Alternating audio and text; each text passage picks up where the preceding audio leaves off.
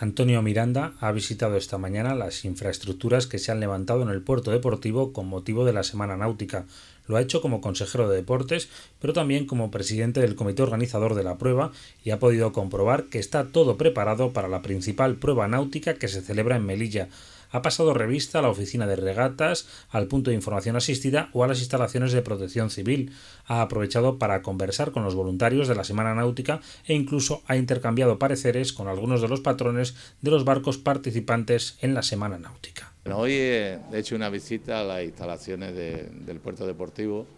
en concreto algunas, dependencias que trabajan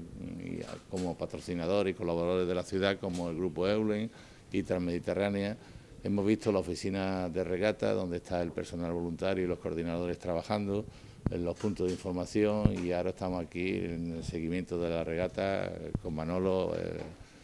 el responsable de, regata. Esta visita se ha producido apenas un par de horas antes de que arranque la regata Dos Continentes, en la que finalmente no participará el Sirius VI, representante de la Armada Española. Las condiciones de la mar le han impedido llegar a tiempo a la salida, pero Miranda ha confirmado que no habrá problemas para contar con su participación en la Semana Náutica. Las condiciones meteorológicas son las que, las que son, ¿no? El sirio no va a poder estar en la regata de dos continentes por las condiciones meteorológicas, sí va a estar en la regata en, la semana náutica,